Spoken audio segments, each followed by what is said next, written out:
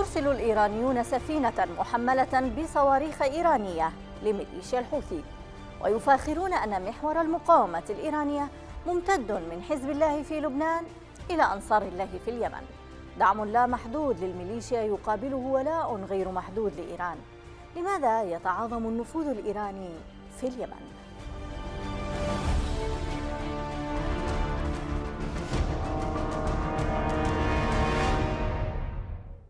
أهلا بكم. منذ خمس سنوات زادت علاقة إيران بميليشيا الحوثي توثقا وانتقلت إيران من مرحلة الدعم الإعلامي والتدريب والتأهيل والمساعدات اللوجستية تدريجيا حتى أصبحت تمد الميليشيا بحبل سري من المساعدات العسكرية واللوجستية التي قلبت موازين القوى العسكرية لصالحها خلال المعارك الأخيرة شرق صنعاء والجوف. وفي الوقت ذاته تنحسر مساحة الثقة بين السلطة الشرعية اليمنية وحلفائها الخليجيين إلى درجة وصلت حد الصدام العسكري والإعلامي في عدن وسقطرى ورفع الغطاء الصاروخي عن مأرب وصولا للإعلان صراحة عن خوض أحد أطراف التحالف حربا معلنة مع أحد الأطراف السياسية المؤيدة للشرعية. يوما بعد آخر. يتعاظم النفوذ الإيراني في اليمن. ورغم كل هذه الحرب التي أنهكت اليمنيين على مدى خمس سنوات تحت شعار مواجهة الدور الإيراني في اليمن إلا أن هذا الدور لم يتأثر ولم يتم القضاء عليه. على شاشة إحدى القنوات التابعة لميليشيا الحوثي قال قائد ما يسمى بالقوة الجوفضائية في الحرس الثوري الإيراني إن دول ما يسمى محور المقاومة متحدة لإخراج القوات الأمريكية من المنطقة. وبحسب زاد فإن هذا المحور يمتد من البحر الأحمر إلى البحر المتوسط. تصريح يحمل دلالات عدة من حيث توقيته المتزامن مع إعلان البحرية الأمريكية القبض على شحنة أسلحة إيرانية كانت متجهة للحوثيين أو من حيث وسيلة نشره. 150 صاروخا مضادا للدبابات تمكنت البحرية الأمريكية من إحباط وصولها للحوثيين. غير أن القوة النارية للحوثيين في جبهات مأرب والجوف والتي كان آخرها إسقاط الميليشيا لمقاتلة تابعة للتحالف بصاروخ أرض جو تؤكد أن ما تم إحباطه ليست سوى واحدة من سلسلة عمليات تنجح إيران من خلالها في دعم حليفها الحوثي بأحدث الأسلحة التي يمكنها الحصول عليها بينما تواجههم مجاميع عسكرية تابعة للشرعية بحليف لم تعد تدري في صف من يقف بالضبط. والطيران بيحن فوقها. هذه حماية فإن كانت حماية لهم قالوا لنا وإن كانوا معانا سمع لا بتان يستقول قول ولا يستقول قول إلا شعب مع استمرار سياسة إطالة أمد الحرب فإن المكاسب تصب في خانة توسيع النفوذ الإيراني في اليمن. وتساعد ميليشيا الحوثي في الحصول على مزيد من الوقت لتوطيد علاقاتها الخارجية وتجديد قبضتها الأمنية في الداخل. بينما يستمر التدخل الدولي مقتصرا على الإعلان عن إحباط محاولات تسليح جديدة بين فينة وأخرى. أهلا بكم مشاهدينا الكرام إلى هذه الحلقة والتي أستضيف فيها الكاتب والباحث نبيل البكيري هنا في الاستديو ثم ينضم معنا آخرون خلال هذه الحلقة. مساء الخير أستاذ نبيل. مساء النور. اذا سفينة حربية آه، أمريكية تصادر أسلحة إيرانية الصنع كانت متجهة للحوثيين.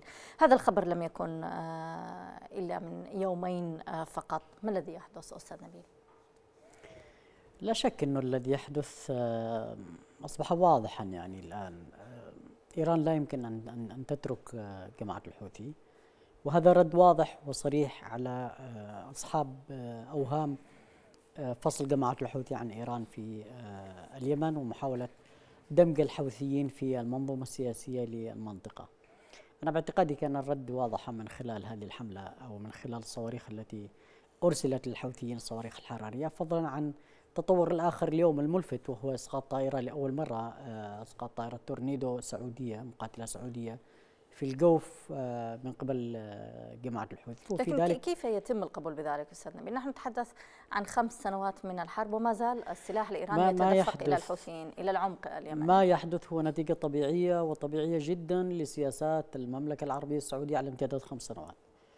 كنا نقول دائما أنه أي تأخير للحرب في اليمن يعني ضياع جهود هذه المعركة ويعني آه، مزيد من تأزيم المنطقة وتعقيد الحرب ودخول أطراف إقليمية جديدة ودخول فواعل آه، محلية أيضا في هذه المعركة. كل ما كنا نقوله اليوم هو يتمثل من خلال هذا السيناريو. اليوم أنا باعتقادي آه، الحرب يعني من كان يتوهم أنه يستطيع من خلال هذه الحرب أن يلعب وأن يدير مشهد الحرب أكثر ما يمكن أو أكثر فترة ممكنة. ها هو اليوم يد سيدفع ثمن غاليا من أمنه واستراتيجياته العسكرية والأمنية التي كان يبني عليها آه، حساباته في هذه المعركة. نعم. اليوم أنا باعتقادي أن الصواريخ الحوثية التي ضربت آه، التي أسقطت الطائرة اليوم أو التي يتبنى الحوثي آه، يعني عملياتها وهي قطعا يعني مثل الذي حدث في منشاه النفط في أرامكو منطقة بقيق قبل أشهر من الآن كلنا يدرك أن مثل هذه هذا الانكشاف الاستراتيجي لأمن المملكة هو نتيجة طبيعية للسياسات التي اتخذت في اليمن. لم يكن هناك جدية حقيقية في استرجاع الشرعية. لم يكن هناك جدية حقيقية في دعم هذه الشرعية ولا في دعم الجيش الوطني. لم يكن هناك جدية حقيقية أيضا في مساعدة الشرعية للعودة إلى الداخل ولملمة المشهد وإدارة المناطق المحررة. وبالتالي كل ما حدث يعني أنت يعني أمام مشهد يعني مفارقات غريبة وعجيبه نعم. يعني بين الموقف الإيراني تجاه جماعة الحوثي والموقف السعودي مثلا تجاه باستثناء الإمارات لأن الإمارات لم تدخل كحليف في في هذه الحرب. هي دخلت كطرف منسق منذ اللحظات الأولى مع الإيرانيين. ونحن اليوم نرى النتائج واضحة من خلال ما نراه على الأرض من ممارسات من قبل الإمارات ومن قبل الحوثيين. هناك اتفاق وهناك آه، تقاطعات واضحة في سياسات الطرفين فيما يتعلق بالشرعية فيما يتعلق باليمن الموحد فيما يتعلق بكيانية الدولة اليمنية فيما يتعلق أيضا ب بالمملكة العربية السعودية. أنا باعتقادي هناك اتفاق إيراني إماراتي وما تحدثت عنه سرب عنه بعض المعلومات من قبل واشنطن بوست تقريبا.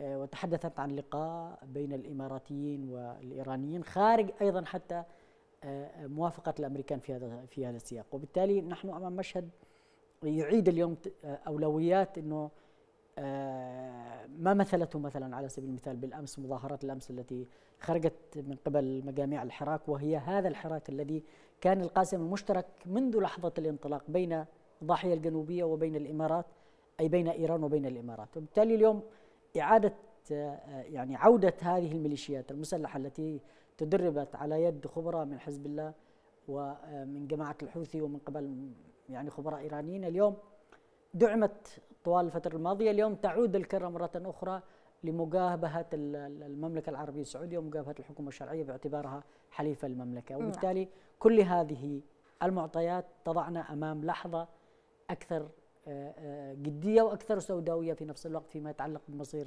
الحرب في اليمن. صحيح. إذا أستاذ آه، نبيل يعني الخبر هذا الذي أورده وزير آه، الخارجية لم يكن بالأول. يعني توالت عدة أخبار خلال هذه الخمس سنوات وتوالت آه، استيلاءات عديدة على سفن محملة بالأسلحة البنتاغون في 2018 كشف أدلة دعم إيران معهد ماها أوركس المختص بتتبع الأسلحة في 2019 تحدث عن قطع عديدة تم توريدها من ضمنها أسلحة خفيفة وثقيلة على مستوى الرشاشات على مستوى المدافع يعني من القطع البسيطة وحتى القطع الكبيرة. في 2016 تم سفينة أسترالية استولت على سفينة مهربة. نعم. نعم. يعني كل ذلك ولا يتخذ إجراء حقيقي لا ضد إيران ولا ضد الحوثيين لا من المجتمع الدولي ولا من التحالف الذي يقول بأنه يحاصر آه، المنافذ آه، البحرية ويحاصر آه، اليمن. ما هو هذا الحصار؟ المجتمع الدولي اولا ليس جمعية خيرية وليس وكيل لأحد. يعني المجتمع الدولي بالأخير هو شركات ودول لها شركات لها مصالح لها أسواق سلاح وأي حرب في الكون هذا من مصالح الدول الكبرى ان تستمر هذه الحرب. حتى الأمم المتحدة التي تعتبر منظمة لفض النزاعات وإحلال السلام هي بالأخير منظمة لإدارة طول أمد الحرب كما هو في الملف اليمني الملف السوري الملف كل الملفات نعم. التي في المنطقة. وبالتالي التعويل ليس على الأمم المتحدة ولا على هذه المنظمة التعويل على على من يدعي نفسه إنه يعني حليف حامل. للشرعية ويدعي أنه في معركة مصيرية للدفاع عن نفسه. يعني اليوم المملكة حينما تتحدث عن الحرب في اليمن هي انطلقت إلى اليمن للدفاع عن المملكة مش للدفاع عن اليمن لأنه اليمن يعني في في, في تلك المرحلة كان قد سقط كان في حكم إنه قد سقط تحت النفوذ الإيراني. فدخلت المملكة للدفاع عن أمنها وبالتالي وهي تدافع عن أمنها ارتكبت مجموعة أخطاء استراتيجية كبيرة. هذه الأخطاء الاستراتيجية تمثلت مثلا على سبيل المثال بدعوة الإمارات لهذه الحرب والإمارات علاقتها سابن على اصل مع الإيرانيين منذ ما قبل استيلاء إيران على الجزر الإماراتية وما بعدها أيضا وبالتالي لا يوجد هناك إشكالية في العلاقات الإماراتية الإيرانية. فأن تدخل الإمارات لهذه الحرب معناه أنه أعطيت إيران ذراعا أخرى بجانب ذراع الحوثي في الداخل معه. يعني كل يعني ما أحدثته الإمارات طوال خمس سنوات من ضرب الشرعيه وضرب خصوم الحوثيين وإعاقة عودة الحكومة الشرعية وإنشاء الميليشيات والحالة الفضوية المسلحة الموجودة والاستيلاء على الموانئ وتعطيلها وتعطيل المطارات كل هذا ليس في صالح السعودية وليس في صالح الحكومة الشرعية ولا في صالح أحد في هذه المعركة. بقدر ما يصب كل ذلك في صالح النفوذ الإيراني والهيمنة الإيرانية في المنطقة. يعني اليوم إن كان هناك من خصم حقيقي للسعودية في اليمن ليس للحوثيين الحوثيين قطعا ممكن يتفقوا. لكن الخصم الحقيقي هي الإمارات التي من خلالها طبقت أو أو أهدت الحوثيين كل هذه الانتصارات التي يحققونها. لأن هناك في داخل هذا القسم المسمى بالتحالف العربي نعم. من يعمل ويوفر ويزود بالمعلومات وربما ستأتي أيام وسيتم كشف الغطاء عن أن معظم هذه الأسلحة التي تورد للحوثيين تأتي عن طريق الإماراتيين وكان لدي معلومات سابقة أن هناك تهريب يتم من رأس العارة من على سواحل خليج عدن آه، إلى مناطق إلى إلى مناطق الحوثيين في في البرح وفي وفي وفي جبال الحيفان وفي وفي الراهدة وخدير تأتي هذه الصواريخ أو تأتي هذه الأسلحة عن طريق آه، آه، يعني مهربين ينتمون للحراك الجنوبي ويتم تهريبها من خليج عدن إلى هذه المناطق. إذا أستاذ نبيل دعنا ينضم معنا الأستاذ عدنان هاشم والمعني بشؤون آه، إيران والخليج آه، والسياسة الإيرانية مساء الخير أستاذ عدنان عبر الهاتف من المغرب طبعا مساء النور والعافية أهلا وسهلا بك وبضيفك الكريم أهلا بك أستاذ عدنان سفينة حربية أمريكية تقوم بمصادرة أسلحة كانت متوجهة للحوثيين ما هي معلوماتك؟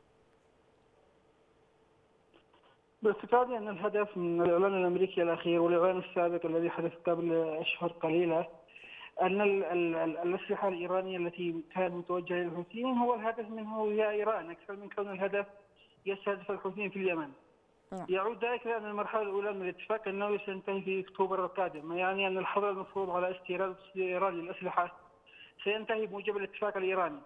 ما يجعل الولايات المتحدة تكثف الضغط آه، على المجتمع الدولي بأن إيران لم تلتزم بالحظر المفروض عليها وتدفع مثل الآن إما يلتزم الحظر أو لإعادة الفترة السابقة بحظر ايران من استيراد وتصدير السلاح الذي كان موجودا آه، في في في آه، الذي صدر في 2006 نعم كالعاده اليمن هي آه، تأتي في أسفل الأجندة أجندة الولايات المتحدة الأمريكية وعندما تتحدث الولايات المتحدة الأمريكية بشأن يتعلق في اليمن هي إما يكون الموقف يتعلق بسياستها ضد إيران أو أن يكون الموقف متعلق بسياستها الداعمه للمملكه العربيه السعودية.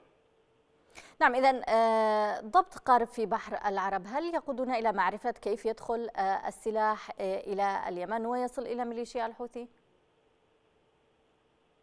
أعتقد بأن الطريقة معروفة وقد تحدث كثير من من ضمنها تقارير المجلس الأمني بأن يتم تهريب السلاح عبر قوارب صيد صغيرة تنتقل إلى السواحل اليمنية ومن خلال ويتم نقلها برا عبر برا من المناطق الجنوبية الخاضعة لسيطرة الحكومة والميليشيات التابعة للامارات إلى مناطق سيطرة الحوثيين.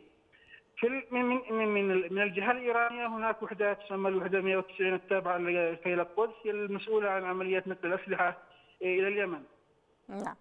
اذا آه، ما هي المنافذ التي يتم تهريب آه، الأسلحة من خلالها؟ المنافذ البحرية بالضبط. آه، أعتقد بأن هناك عدة منافذ منها في نعم. محافظه الشباب وأيضا من عدن هناك أيضا طرق كثيرة من يستخدم الحوثيون المال من أجل تسيير أمورهم ووصول شحنات السلاح إلى محافظة صنعاء باعتقادي بأن آه، هناك خدمات متبادلة بين الميس الانتقال الجنوبي المدعوم من الامارات وأيضا الحوثيين من أجل تيسير وصول السلاح للحصول على مكاسب جزئية تعتقد الإمارات بأن بإمكانها السيطرة على الجنوب مقابل حصول الحوثيين على شمال البلاد. نعم اذا أين التحالف؟ ألا يقول بأنه مسيطر على المنافذ اليمنية؟ باعتقادي بان التحالف خلال الفترة الماضية قد أظهر فشله بشكل كبير من في مراقبة السواحل اليمنية وأيضا السواحل اليمنية هي امتداد كبير، هناك شريط ساحلي طويل.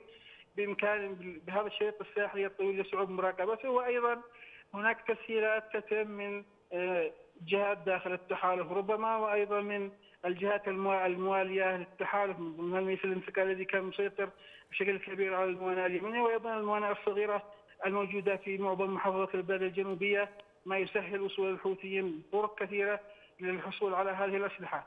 باعتقادي بأن الفترة الماضية حصل الحوثيين على منظومه دفاع جوي متطورة وزودتهم بها إيران من أجل استهداف الطائرات السعودية، تحدث الحوثيون أكثر من مرة بأنهم خلال هذا العام سيبدأون بتجهيز منظومات دفاع جوي متطورة من أجل إسقاط طائرات التحالف وهذا أيضا سيدفع السعودية لمفاوضات بشكل أكبر مع مع الحوثيين في في مسقط للخروج من الحرب في البلاد. نعم إذا عدنان هاشم المختص بالشأن الخليجي والسياسة الإيرانية شكرا جزيلا لك كنت معنا عبر الهاتف من آه، مأرب. عودة إليك أستاذ نبيل. إذا أستاذ نبيل آه، برأيك لما يتعاظم الدور الإيراني في المنطقة بهذا الشكل؟ يتعاظم الدور الإيراني نتيجة للفراغ الموجود في المنطقة. آه، لا تنسى أنه كان هناك دولة عظيمة واجهت إيران أكثر من ثمان سنوات هي العراق. انتهت فريسة سهلة بيد الإيرانيين سوريا كانت أيضا تمثل قوى إقليمية لا بأس بها تحولت إلى حليف للإيرانيين وتدمرت خلال هذه الحرب التي رأيناها.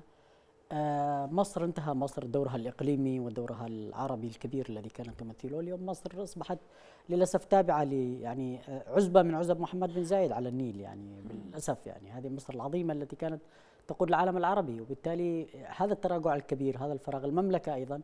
المملكة أنا باعتقادي طوال هذه الفترة منذ 2015 حتى الآن والنتيجة للصراع السياسي الذي دار على آه، من يخلف الملك سلمان أدى إلى تدخل الإمارات بشكل كبير وأدى إلى إحداث أن تدخلت في صناعة القرار في المملكة. اليوم أصبحت الإمارات هي التي تدير المشهد في, نعم. في, في الإمارات. يعني هذه الحقيقة التي لا يمكن أحد أن يتجاهلها طوال أحداث وتعقيدات الخمس سنوات الماضية من الحرب في اليمن أو حتى في المنطقة فيما يتعلق بمواجهة الربيع العربي. آه، كان واضحا أن التوجه والقرارات الإماراتية في كل ما تتخذه السعودية من قرارات. وبالتالي هذا الفراغ الموجود اليوم آه، من السهولة بمكان إلى آه، أي دولة لديها رؤية واضحة لديها إمكانيات ممكن أن تملأ هذا الفراغ من خلال أو كما فعلت إيران طوال السنوات الماضية. وبالتالي هذا النفوذ الإيراني هو موجود نتيجة لغياب دور عربي وانهيار منظومة الدولة التقليدية العربية والدورة ما يسمى بالدولة الإقليمية آه، القطرية العربية وما يسمى بجمهورية ما بعد الاستقلال كلها انهارت آه، من العراق إلى سوريا إلى مصر إلى ليبيا إلى اليمن كل نحن أمام آه، يعني مشهد مليء بالفراغ. هذا الفراغ من السهولة بمكان أن تأتي دولة كإيران لديها طموحات ولديها مشاريع واستراتيجيات لتصنع ما فيه ما تريد. وبالتالي يعني على ماذا يعول الآن العرب؟ أو على ما يعني اعتقادي إنه انتهى آه، يعني حقبة ما بعد الدولة العربية الآن. كل ما نراه هي عبارة عن آه، يعني قصاصات مسمى دويلات. هذه الدويلات لا ليس لها تأثير لا على المستوى المحلي على مواطنيها ولا على المستوى الإقليمي والدولي. وبالتالي سيكون من السهولة بمكان تتمدد إيران وأن تتمدد إسرائيل وأن تملأ هذا الفراغ بكل سهولة ويسر. نعم. إذا أستاذ آه، نبيل منشر وزير الخارجية مايك آه، بومبي حول الأسلحة المهربة. دعني فقط أتوقف معك عند عبارة من هذا التصريح. قال أن هذا وجود الأسلحة المهربة. مثالا آخر على أن إيران تعد أكبر راعية للإرهاب في العالم.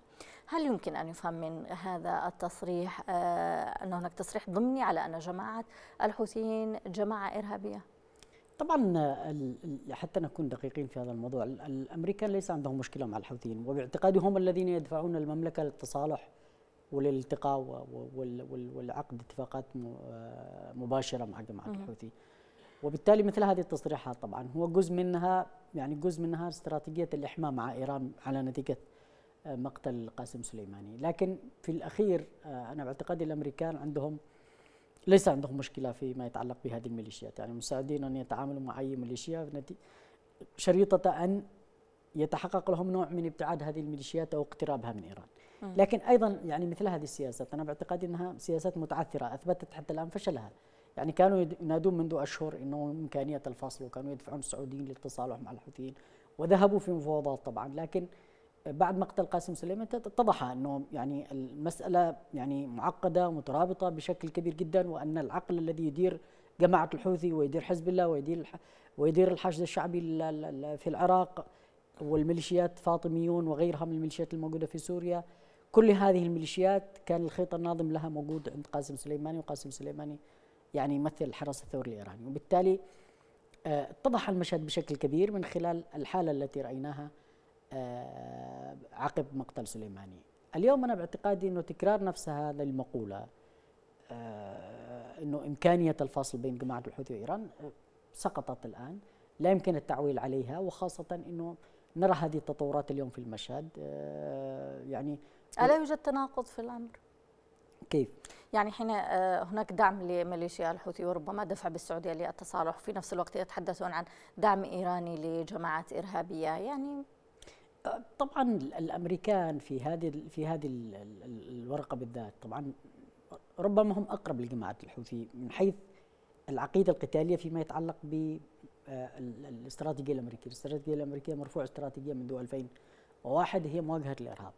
والإرهاب في الذهنية الأمريكية هو ما يتعلق بالجماعات السنية التي أتت من ال من ال من ال التيار السني كالقاعدة وداعش وما إلى ذلك. وبالتالي آه، رأينا كيف يعني مثلا قاسم سليماني الذي كان يلعن أمريكا ليل نهار كان يقاتل في العراق وسوريا تحت رحمة الطائرات الأمريكية التي كانت تمسح الأرض لتتقدم الميليشيات التابعة لقاسم سليماني. يعني بالأخير يعني ما يقول ما يقال شيء وما يرفع وما يصرح به شيء وما يمارس على أرض الواقع شيئا آخر. وبالتالي ما يحصل في في اليمن. يعني هم يدفعون باتجاه الصلح مع جماعة الحوثي. لكنهم في نفس الوقت أيضا الأمريكان آه، يرون ويشاهدون آه، بكل وضوح أن إيران لا زالت هي التي تدير المشهد وأنها هي التي تتحكم بالقرار السياسي لجماعة الحوثي. وبالتالي هم لا لا, لا يهمهم هذا ما دام أنه سيتحقق لهم أو بمعنى آخر أنه يوجد هناك نقاط الالتقاء مع الإيرانيين آه عفوا مع الحوثيين فيما يتعلق بملف ما يسمى بالجماعات الإرهابية. نعم، اذا اسمح لنا أستاذ نبيل أن ينضم معنا السيد البراء شيبان الباحث في الشؤون الإنسانية عبر الهاتف من آه لندن، مساء الخير أستاذ براء. مساء النور واهلا وسهلا فيكم.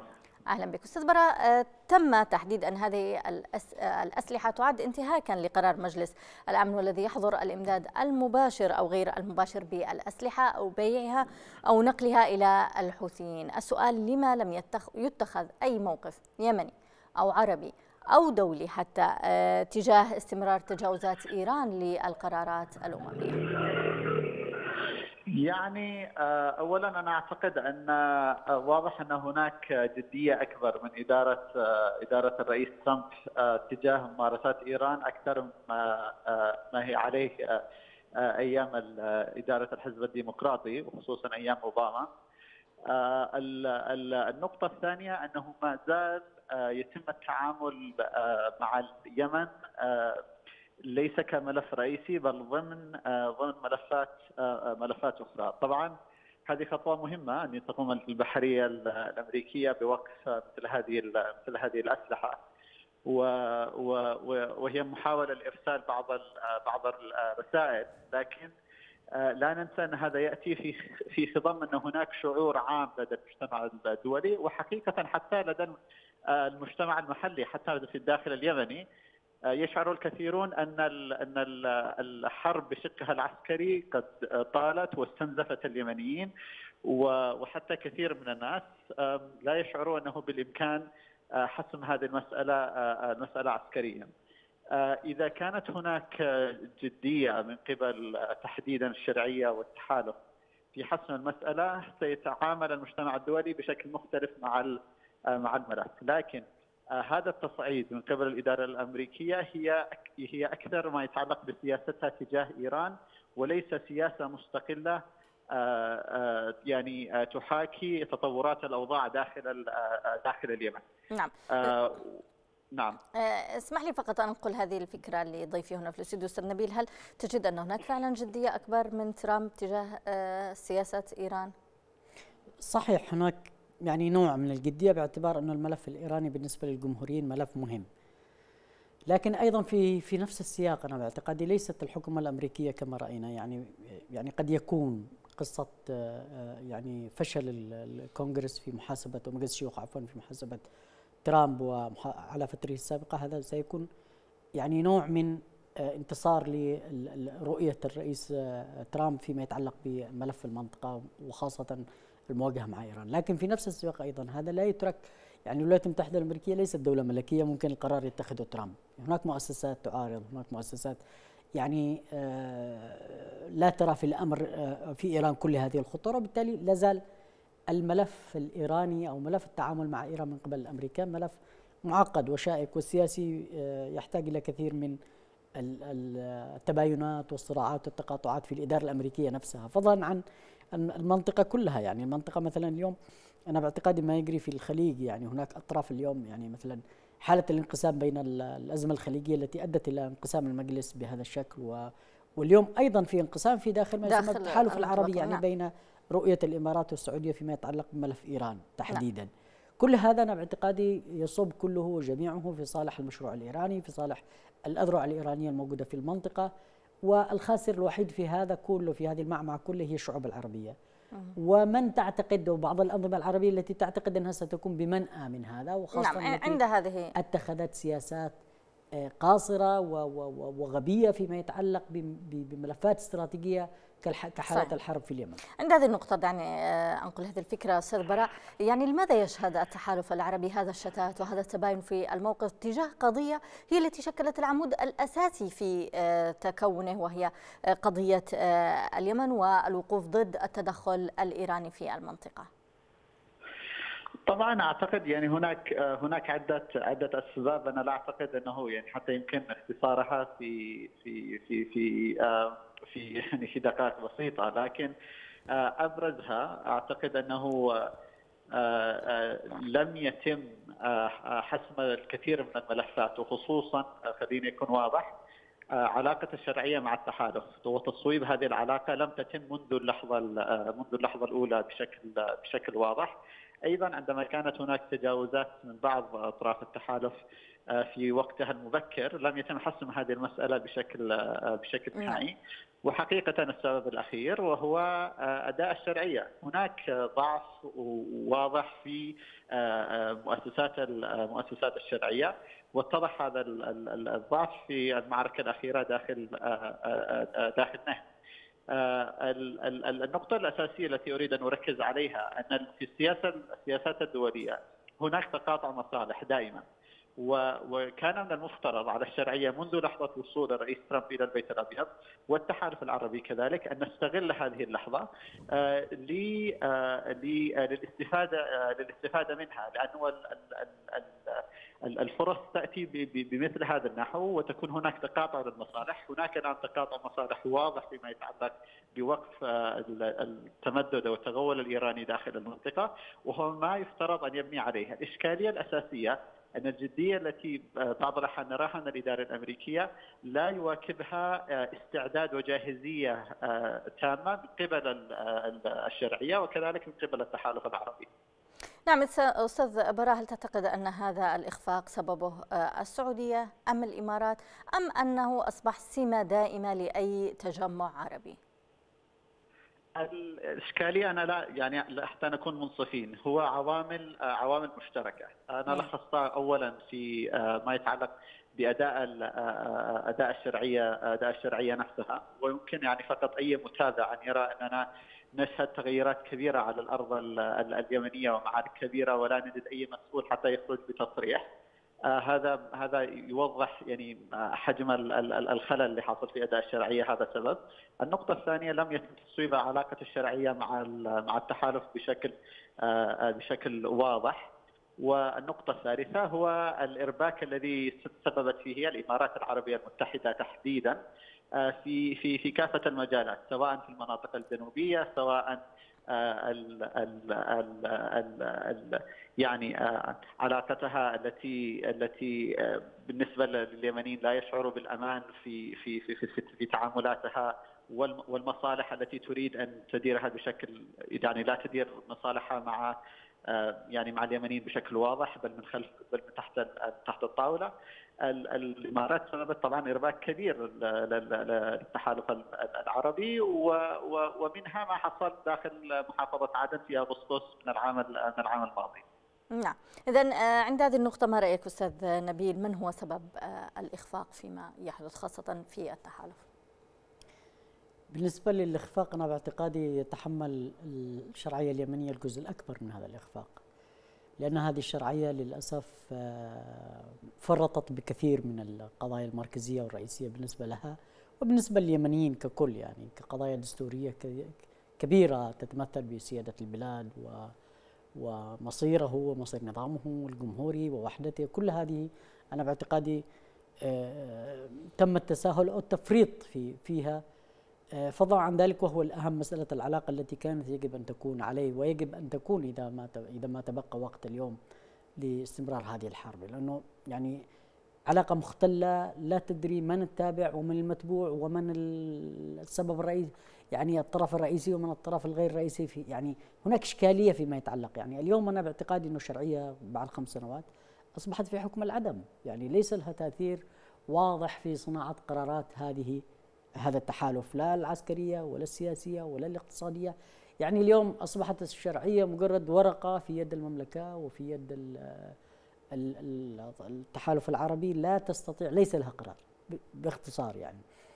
أما الناتي فنحمل المملكة آه، يعني وهي تتحمل قطعا تتحمل آه، آه، يعني نسبة كبيرة من هذا الإخفاق لكن بالأخير نحن الأولى الذين نتحمل لأنه نحن أصحاب الأرض. نحن أصحاب القضية نحن أصحاب الدم وأصحاب كل شيء في هذه المجموعة. فلا تد فلا أنت تتحمل تحمل من أتى من دعيته ليعينك إخفاقك. فيكون هذا من نوع من البلادة والسخف في مكان أنك واحد تدعيه يعاونك بعد تتحمله المسؤولية. بالأخير أنت الذي سلمت له كل شيء وأنت الذي بسياساتك وممارسة قبلت أن أن تكون تابعا بلا قرار. وبالتالي سيكون كل ما يحدث بعد ذلك تتحملها أنت. وهو ربما سيخرج كشعرة من العجينة لن يتحمل أي شيء. هذا على افتراض إنه لن يكون لها تداعيات أيضا. وبالتالي نحن كيمنيين اليوم مشكلتنا تكمن في هذه الشرعية. فشلت و و ونخاف أن هذا الفشل وهذا العجز يصل إلى مرحلة الخيانة. لأنه أن تكون فاشلا هذه مفهومة لكن أن تكون فاشلا وغير قادرا على أن تقول للناس أنني عجزت لا أستطيع هذا يتحول الأمر من فشل إلى خيانة فلا نرجو أن أن تصل مرحله مرحلة الخيانة العظمى والوطنية. نعم، اذا آه، أستاذ آه، براء هناك من يقول أن هذه المواقف وهذه آه، الأحداث أيضا والعدد الكبير من تهريب الأسلحة خلال خمس سنوات من الحرب هو يعكس الفشل العسكري والأمني للتحالف ضد تغول إيران واذرعها في المنطقة. إحنا علينا في البداية ان ان ان نوضح نقطة مهمة وهو تطرق لها الأخ نبيل بشكل واضح. من سيحسم المعركة مع جماعة الحوثيين هم اليمنيون. الطرف اليمني الذي يعتبر نفسه أنه هو من يمثل الشرعية هو من يمثل الجمهورية هو من ينتصر لإرادة اليمنيين عليه أن يكون حاضرا وعند مستوى وعند مستوى التحدي. وخصوصا نحن لاحظنا أنه في لحظات كثيرة كانت تبدو أن ملامح الحسم آه، آه، قريبا. واضحة. نعم لكن آه، ال ال ال ال ال الأسباب التي هو تطرق لها بشكل واضح وذكرتها لك في في في يعني في هذا في في هذا الحديث. لا تمكن الشرعية 100% أنها تحسم تحسم الأمور، النقطة المهمة التي اريد أريد وهو يعني مثال بسيط من امثله من أمثلة كثيرة. آه، أنا التقيت مثلا قبل يومين مع برلماني آه، ألماني وكنت احدثه على قصف الطيران الذي تم على آه، على الجيش الوطني في نقطة العلم والذي يعني راح ضحيته 300 300 من الجيش من الجيش الوطني واستغربت أنه يعرف الحادثة تماما وأنه لكن قال لي أنا في يومها كان يبحث عن آه، البيان الذي ألقاه السفير اليمني في في الامم المتحدة مترجم فقط كان يريد الكلمة مترجمة لأنه كان معه لقاء مع وفد مع وفد إماراتي في في يومها. هذا الأداء أنه ليس لدينا حتى تواصل مع الناس الذي ممكن أنهم يتفاعلوا معنا في لحظة في لحظة مهمة. وليس لدينا يعني تخيل إنه مثلا كل الدبلوماسية تترجم الكلمة التي ألقاها السفير اليمني في في في في مجلس الأمن. هذا يوضح لك حجم الإشكالية داخل منظومة الشرعية.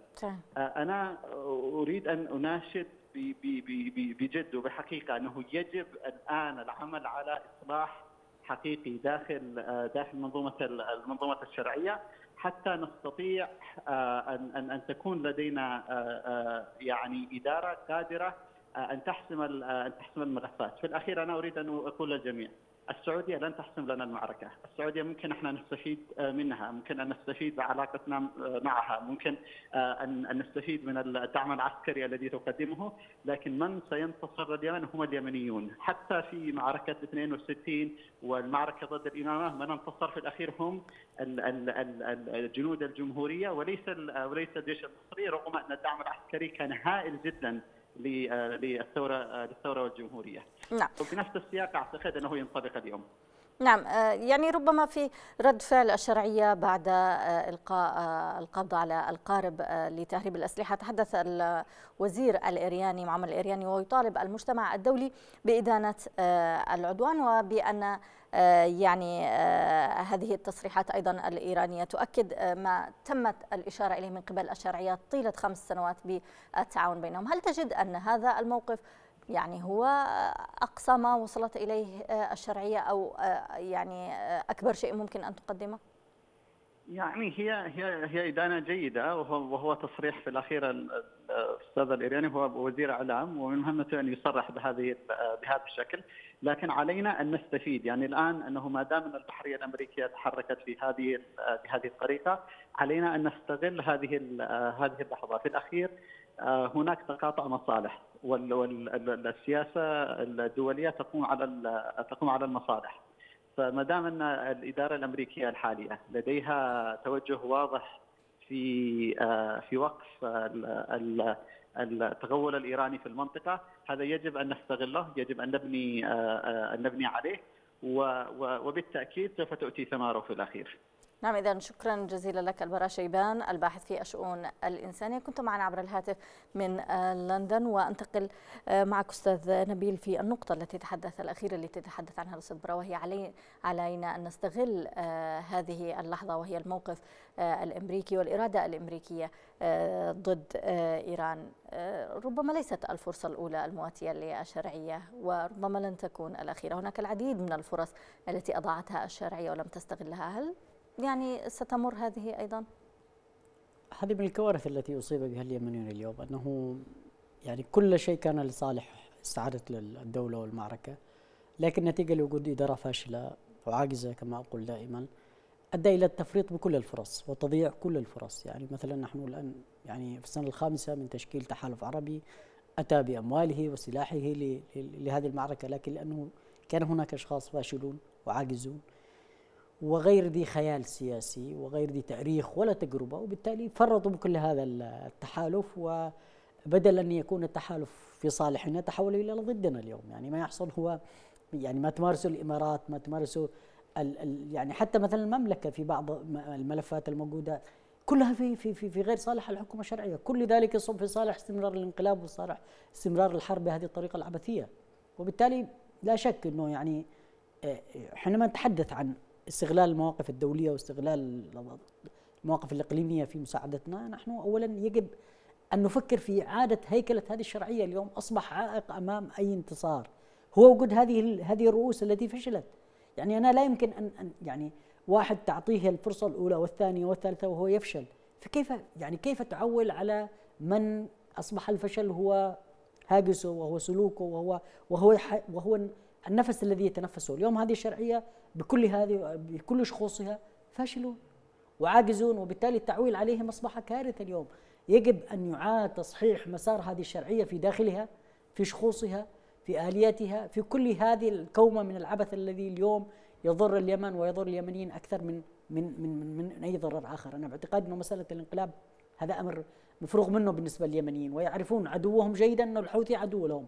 وسيقاتلونهم بإمكانياتهم الذاتية إلى آخر. طلقة رصاص لكن الإشكالية تكمن أنه هناك حاجز أن هناك أن هناك جهاز تنفس صناعي يمنح لهذا الانقلاب الاستمرار. هذا هذا الجهاز مثلا بالحكومة الشرعية الفاشلة العاجزة التي لم تستطع أن تقدم شيء حتى الآن. يعني ماذا قدمت على امتداد خمس سنوات؟ هي فرطت بكل الإمكانيات. فرطت بالإمكانيات اليمنيين الذاتية التي كانوا يقاتلون بها في الداخل وفرطت بإمكانيات المجتمع الدولي أو ما يسمى بالتحالف العربي وبكل ذلك نتيجة لأنه شخوص هذه المرحلة كانوا سببا بالفشل والهزيمة وإسقاط صنعاء وهم اليوم مستمرين في صناعة نفس الفشل ونفس الهزيمة وبالتالي التعويل عليهم أصبح كارثة كبيرة. نعم إذا أستاذ نبيل آه، أيضا آه، بعد حادثة آه، مصادرة الأسلحة الإيرانية كان هناك تصريح لقناة المسيرة نقلته عن قائد القوى الجوفضائية في الحرس الثوري الإيراني العميد أمير حاجي زادة قوله إن اليوم محور المقاومة ليس إيران فحسب بل يمتد من البحر الأحمر إلى البحر المتوسط من أنصار الله في اليمن إلى حزب الله من أنصار الله في اليمن إلى حزب الله في لبنان. كيف؟ هذه التصريحات هي تصريحات إيرانية؟ إيرانية متكررة سمعناها نعم. كثيرا فيما صحيح. يتعلق بوصول إيران إلى شواطئ البحر الأبيض المتوسط ووصولها إلى البحر الأحمر وخليج عدن. هذا الكلام هذه استراتيجية واضحة يعني ليست فقط مثلا للاستخدام الإعلامي فقط لكن اليوم نحن أصبحنا أمام حقيقة واقعة وماثلة يعني. ما يمثله ثقل حزب الله بعد المعركة السورية؟ ما يمثله الحوثيون اليوم بعد بعد الحرب والانقلاب الذي حصل؟ وبالتالي نحن أمام يعني حقائق مريرة وصعبة تنتظر المنطقة الكارثة أنه يعني آه، على الذين اليوم لا زال بيدهم بعض الإمكانيات لمواجهة هذا الخطر. يعني مثل المملكة العربية السعودية اليوم. اليوم مصير المملكة مرتبط بالمعركة في اليمن. لا يعتقد الإخوة في المملكة العربية السعودية أنهم سيكونوا في منأى فيما لو تمكن الحوثي من السيطرة والتمدد واستعادة زمام المبادرة في الجغرافيا اليمنية. سيكون الهدف الثاني والمباشر هي المملكة. وسيذهبون لتفتيتها كتفتيت قطعة الكيك. بين الميليشيات التابعة للمرشد الأعلى في إيران.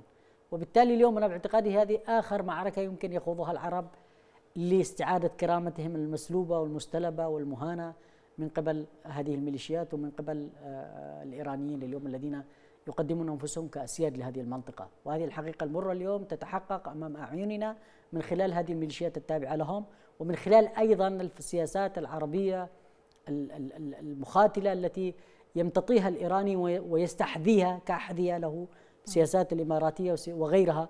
كل الذين يتقربون اليوم من إيران سيكونون بالغد القريب ضحايا لهذا لهذا التقارب. نتيجة لأن الإيراني استراتيجيته واضحة في المنطقة هو السيطرة عليها. السيطرة على منابع النفط السيطرة على المناطق المقدسة. وبالتالي كل هؤلاء الذين يتوهمون اليوم ويختلقون أعداء وهميين غير العدو الحقيقي لهم سيصابون وسينالون نتيجة مثل هذا التفكير نعم. العدمي والسطحي أخيرا تعقيبا على موقف الحكومة الشرعية هل يكفيها التنديد بممارسة إيران وتهريبها الأسلحة الحوثيين عبر مطالبة المجتمع الدولي بإدانة العدوان هل هذا كافي؟ أنا باعتقادي هذه نوع من من من وظيفة العاجزين والفاشلين يعني أنت ما يعني ماذا ستجدي أو ماذا ستستفيد من تنديد هنا أو هناك يعني إذا لم تكن أنت فاعلا على الأرض وإذا لم تكن أنت سيد نفسك وصاحب القرار ما يفيدك أن يصيح الزيد أو عمرو بدعما لك أو مساندة لك.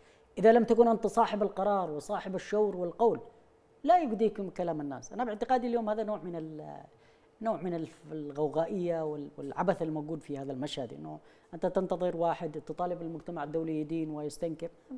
بالأخير أنت ما أنت ماذا فعلت؟ الإدانة في النهاية؟ ماذا فعلت أنت اليوم؟ خمس سنوات فرطت بكل إمكانيات الانتصار وفرطت بكل إمكانيات المعركة.